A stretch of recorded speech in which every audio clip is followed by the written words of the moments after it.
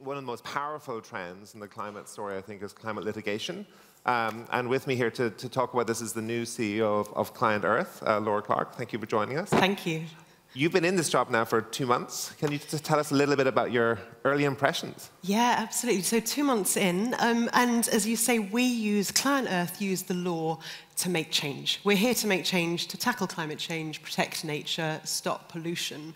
And we do that, I think we most get most, if people know us, they know us for the litigation wins mm -hmm. that we have, but we actually do three things. We build capacity, we train prosecutors, you know, work with communities to empower them to look after their environment we advise and advocate for the right legislation in place, and then we do strategic litigation to hold mm. corporates and governments to account. And it's all about how we can affect that systemic change. Mm. So we bring cases that will then set a precedent and will actually change the way uh, governments corporates mm. um, operate and the way they think. And could you perhaps give us like a few concrete examples of the kind of work you've done and some of the successes you've had that just sort of give the audience here mm. a sense of the kind of impact that you can have when you're successful? Yeah, absolutely. So we've um, a number of cases, um, particularly we've been very, very focused recently on, or over the last five years, on corporate responsibilities and the climate change space. And so um, looking at, first of all, advising on what, what is a 1.5 degrees aligned. Yeah. net zero strategy and what that looks like in terms of you know really sitting at the heart of a company's operations but then we hold companies to account when they don't do that and so we've had a big focus on greenwashing mm -hmm. in recent years with our greenwashing files and so for example in 2019 um, we filed a complaint against uh, BP for its advertising that um, talked all about um, its sustainable future and low carbon future and when in reality 96 percent of its operations is in fossil fuels. Mm. So, so, and then uh, as a result of that complaint, BP withdrew their advertising and said they would no longer do reputation mm. type advertising. And we've got a number of other greenwashing cases. And the idea there is to say, you know, we don't want to make the best the enemy of the good. If an organization is genuinely trying to do the right thing, mm. but just getting a few things wrong, because this is hard, right? Then we're not, we don't want to be suing companies that are trying to do the right thing and just you know, getting a few things wrong. What we want to do is, is go after companies that are saying they're doing the right thing, but it's actually just a PR exercise mm. and it's misleading people. And so when you take a greenwashing case like that, it sets an example of a company that's not doing the right thing. It means that others sit up and take notice and change what they do. And, and we hope to you know, change the behaviours then of corporates and advertising and, and therefore accelerate uh, the, the transition to net zero. And can you just, you know, when you're making those mm. cases, like on greenwashing, mm. what sort of legal arguments are you making?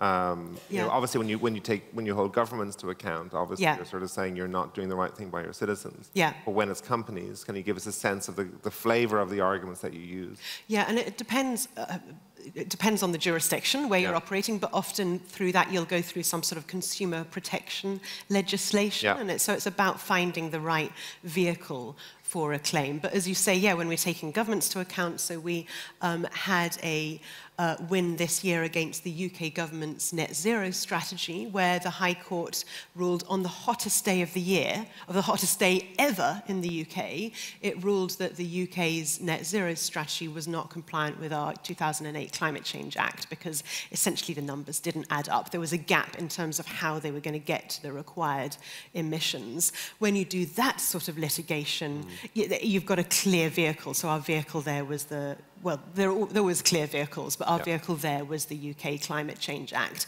And, you know, again, that the UK's got a very progressive legislation, a very, very progressive climate change architecture, if you like, and a huge number of people trying to do the right thing. And, and litigation is not always antagonistic, right? It's saying, you know, this is how we think there are gaps and how we can improve what we're trying to do. And a result of that, um, that win in the High Court, the UK government has said it's going to go away and it's going to improve that net zero strategy and it's going to do that by March 23. Mm-hmm.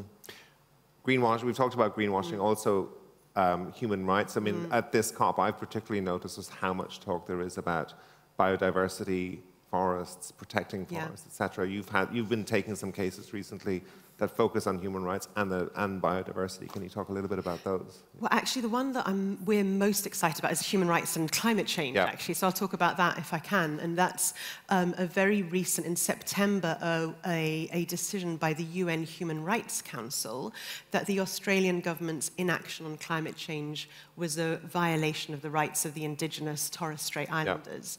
Yeah. Um, and essentially, the Torres Strait Islanders have lived um, where they live on these low-lying islands uh, for, for all time. Um, and, the, and, but, and their complaint was that the Australian government was not doing enough to support them and, and adapt to the climate change impacts of essentially sea level rise. And, and Yessi Mosby, who's one of these Torres Strait Islanders who brought the claim, and ClientEarth worked with them on it, he's here at COP26, mm. and we had an event with him yesterday where he was talking about the impact of, of climate change and sea level rise at such a real personal level, whereby one day he was walking along the beach and the bones of his grandmother washed up on the beach because the, the sea has risen to a level where it's encroaching on the land, it's washing away graves. And particularly in Torres Strait Islander culture, you know, that is the most devastating thing because when someone passes, they, you know, you, you bury them and they need to stay undisturbed. Um, and I think what was, what was extraordinary and so moving about you know him talking about it is it really brings it home. This is the real life experience of so many people around the world who are dealing with these impacts. And when we can then get a case that says, you know, that actually indigenous people's culture is at risk from climate change, but also that governments have got a duty to their people to support them in, um, in, in dealing with the impacts of climate change, that's really powerful. And it's really powerful also in the context of the conversation of loss and damage. Uh, and because the, the, Human Rights Council also ruled that the Australian government needed to pay compensation. So, so we're, we're proud of that. It's, it's one of a great number mm. of human rights and climate-focused pieces of litigation that, are on, that have been going on for a while.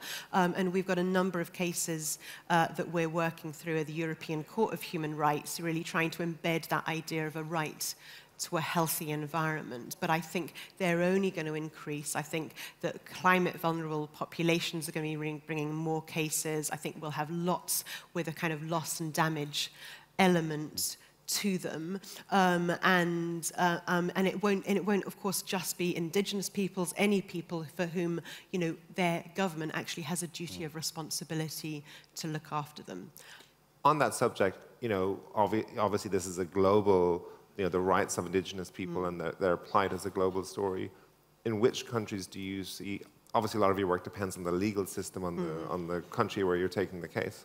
Where do you see sort of the most um, promising avenues uh, for taking on those cases, and which are the, which are the countries where you think it's going to be harder?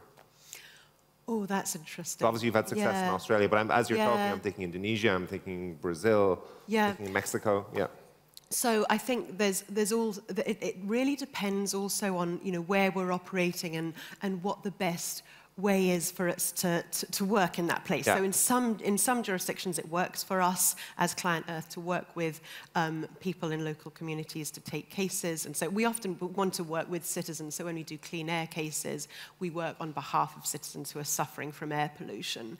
In, in some places, it's not really, litigation is not the right approach mm -hmm. for mm-hmm. us. And we do much better. So in China, for example, we do really good work, training of training prosecutors, making sure they've got the right legislation legislation in place so that they have their own field there of, of climate litigation.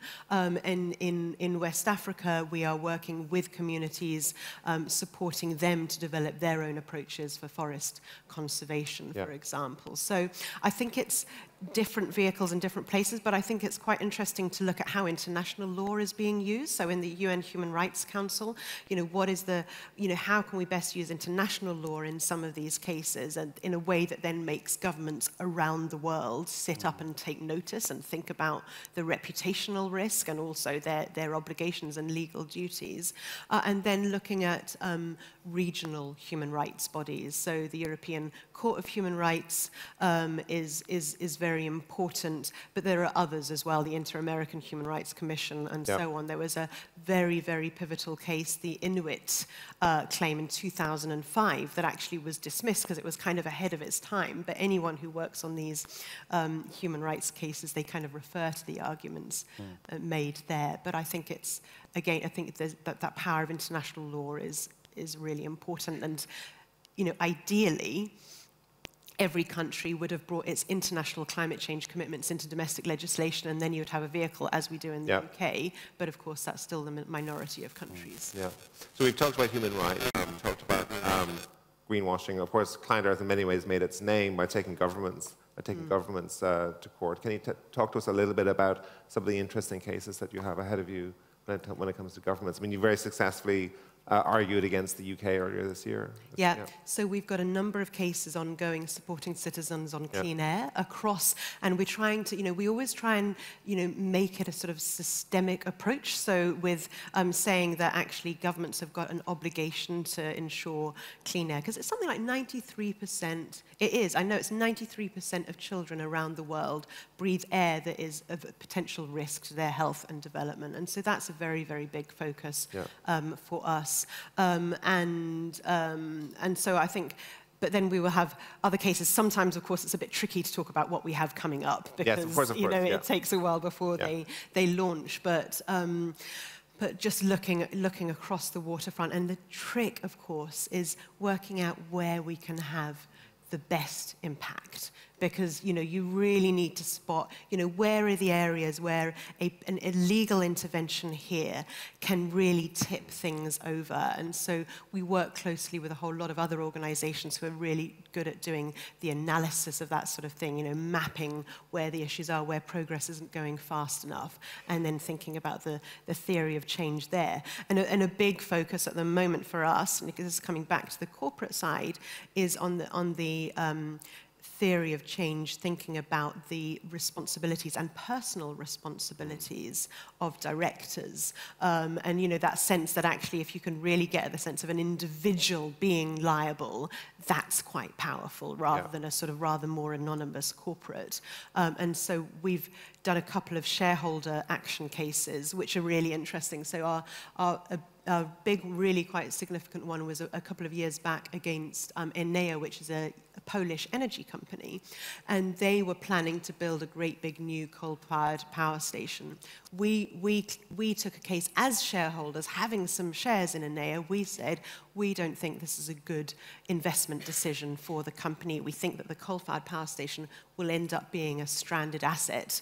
Um, and the court agreed, and the um, uh, coal-fired power station didn't go ahead. And on that very same day, the markets agreed as well because the share price increased by 4%. And so, you know, doing that, you know, very much saying this is what we are arguing is in the interests of you as a company in terms of your long-term sustainability and us as shareholders, that's quite powerful. And we've got another case um, that's starting now, uh, which is again a shareholder action case against Shell. And we're arguing that Shell's um, lack of a meaningful climate transition plan, climate mitigation plan, is a breach of the director's fiduciary duties under the UK Companies Act 2008.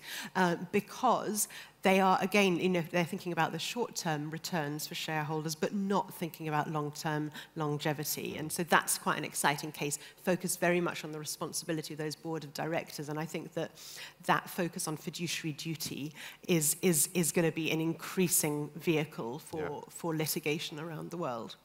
So you've talked about the cases that you're excited mm. about, where you've had success. Where are you frustrated? Are there particular areas of climate litigation where it's just it's just proving really difficult, not just maybe yeah. for ClientEarth, but for yeah. some of your other organizations such as yours? What are the tough nuts to crack here? Oh, it's a really good question. Um, I'm not sure, two months in, I'm not sure yeah. what I've got enough of a sense of what's frustrating. What I do know is the areas that are a bit more uncharted territory right. and where I think we want to be doing a lot more. And you know and that's a lot on the on the biodiversity side but also looking across at supply chains looking at food mm-hmm. systems is so important and finding the right vehicles there so that you can look and see you know what's happening with big agri agribusinesses, what, are, what is their responsibility in terms of um, greenhouse gas emissions, but also deforestation. So that's an area that I think is a massive growth area, looking across and looking at looking in a systemic way at supply chains, corporate due diligence that is not just about a company's operation right here, but across its entire supply chain yeah. and all its uh, emissions. Yeah. yeah. And I presume, presumably on biodiversity, you have the same challenge that lots of other people here at COP have. You know, when you look at emissions, mm. you can, it's easy to quantify it. There's a, there's a vast corpus of data that you can hang your hat on. Yeah. But in the biodiversity, it's just much harder. It's much harder. It's much harder because you it, can, yeah. you know, you've got carbon tonnage, right, and you haven't yeah. got the same thing on biodiversity. But we have established lots of the tools, so like the task force on climate-related financial risk disclosures. You know, if you can adapt that sort of thing and apply it to nature, we need to do it. I mean, the the report uh, just a couple of months ago from WWF uh, that said that 70% of our biodiversity has, uh, we've lost 70% of our biodiversity. Mm in the last 50 years, it's really urgent. And I think, in a way, we sort of, the sort of COP and CBD different events mean that you, we kind of think we've just got to talk about climate when we're at right. COP. You can't separate them out, right? It's all part of the it's all part of the same problem. And often when we take a case, it will be getting at both biodiversity and nature issues, but also, of course, climate, particularly when you're talking about deforestation. That, that you know, speaks to everything yeah. and community rights as well. Yeah. I think at this point we're happy to take questions from the audience. Meg has, Meg has been collating questions. Do, do, we have anything? Oh, no questions. No questions have been sent in yet. Um, what, what is you I wanted to talk to you about also? I mean, we've talked about the UK, mm. Europe, Australia. The US always seems like it's a jurisdiction where we're, all, we're constantly waiting for something big to happen, but it mm. doesn't quite happen. Is, is the US a, a, an area in which you're doing a lot of work, or? We're just, we're, we're just starting up in the US, actually. Yeah. Rather, we've been there for a while, but very much focused on our, on our development fundraising right. activity, and we've got lots and lots of great supporters in the US. But we've just launched our first um, case in the US, which is a greenwashing case against a gas company. Um, and we're, our focus there is very much on the corporate sector, because the corporate sector, you know, if you're thinking about how do you change things, you know, you've got to, you've got to actually turn the juggernaut that is that is, fi- that is investment finance business yeah. to be net zero aligned. And, you know, and for us, the best way that we do that is through the fiduciary duties, through the responsibilities of companies. And so um, we're, you know, we've got a very sort of uh, working on, you know, in Delaware where lo- lots of these companies are listed, looking at their fiduciary duties. What are the actual legal responsibilities of directors for climate and working that out and then sort of mapping that across to, mm -hmm. um, to companies that we can, you know, I suppose, make an example of. Mm. You mentioned BP on the greenwashing front. BP, can you mention some of the other companies you're yeah, looking at? Yeah, so we've got one against um, Total Energies in France that we're doing with some other partners in France. Uh, we have one against Glencore in mm-hmm. Australia, mm-hmm. which um, is investing in new coal while all the time saying that it is doing the right thing in climate terms. Those two things don't add up. Um, and that's listed in London, so there are sort of, you know, the implications there and sort of levers there that we can use. And we've got a very interesting one against the airline KLM, mm-hmm. um, which is essentially, you know, uh, under Dutch uh, consumer protection laws that says that, that KLM's advertising, which is all about sustainable aviation, is misleading consumers because it's saying, you know, it's implying that we're basically very much on the brink or almost there already in having sustainable mm-hmm. aviation. Mm-hmm. And therefore, that's going to encourage more people to fly. We know that flying is not sustainable. Um, and so that's, that's an interesting mm. case as well. That's and so why, why, I mean, presumably you could make that argument about a lot of airlines. Mm. Why KLM in particular? Is it just because? It's because their advertising is so focused on this aspect. Yeah.